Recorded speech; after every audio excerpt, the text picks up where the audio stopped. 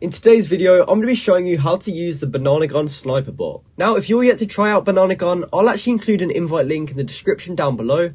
And when you click on that link, you'll get taken to this Telegram bot where we can start setting up Banana Gun for ourselves. So you first need to click start down here, and then you'll see this message where we can start setting up a wallet. So all we have to do is simply click create wallet, and from there, we can either import an existing wallet or create a new wallet.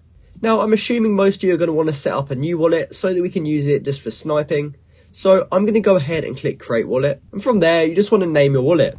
So I'm just going to call it sniper wallet and then click enter. Now from there, the first message that we receive will actually show our private key. But I just deleted that message because obviously I don't want people accessing my wallet. But you can use that private key to put it in MetaMask or any other type of wallet. And that means instead of just being able to access your funds via this Telegram bot, You'll also be able to add it to your actual wallet you can use. And it's also a good idea to keep note of that private key because if you do lose access to this Telegram bot, you'll also lose access to that wallet. So from here, we need to actually fund the bot with some Ethereum. So what we can do is go to settings and then you just want to copy your wallet address here and you want to send at least 0.1 Ethereum over to your account. And once you have actually sent some Ethereum, we can go back and then click settings again and we should now see our balance updated right here. So from here you can go back and I'll now show you how to use the auto sniper. So to get it started you can simply click on it and then from here we want to enter in the token address which we're trying to snipe. So what we can do is paste a token address in here. Now from here it will ask us the max spend per wallet. So let's just say I didn't want to spend much Ethereum, I could do 0.001 and then click enter. From there we can choose the auto snipe tip and the higher we put this the higher chance we have of our transaction going through. And from here, we've set up the snipe and we've got a few different settings down here. So if you have first bundle or fail enabled, that means Banana Gun will always aim to be the first buy when trading begins. But it's recommended to have 10 participating wallets for this to work effectively. Now from here we can choose the slippage, but since we're trying to snipe, we're probably going to want to keep it unlimited. And the rest of the settings we can leave the same. Now from here we can either wait for the token to launch and then it will snipe it automatically, or if we decide we don't want to snipe it anymore, we can just go down and click cancel. Now next up's the manual buyer, and this is just a way of buying coins like you normally would, but it makes it a lot faster because we can use this Telegram bot interface.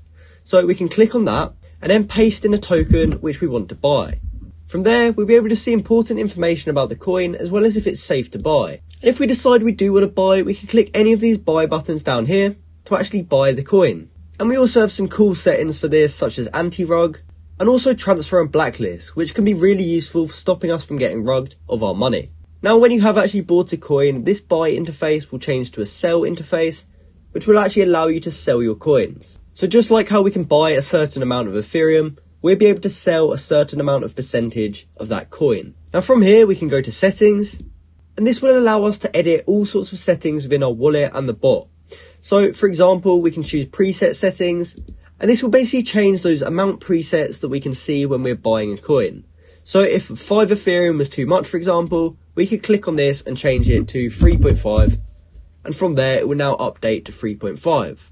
Now, most of these settings should be pretty good. And if you're fairly new to sniping, I'd recommend keeping them the same. But if you've got some experience and you know what to change, it could be a good idea to go through all of these settings and see what's optimal for your setup because everyone will be trying to use this bot a little bit differently. And from there, you should now know how to use the Banana Gun Sniper bot. As I said earlier, I'll include an invite link down in the description below, and if you click on that link, you'll be able to begin setting up a wallet and start using Banana Gun Sniper bot today. So, I hope you found this video helpful, and thanks for watching.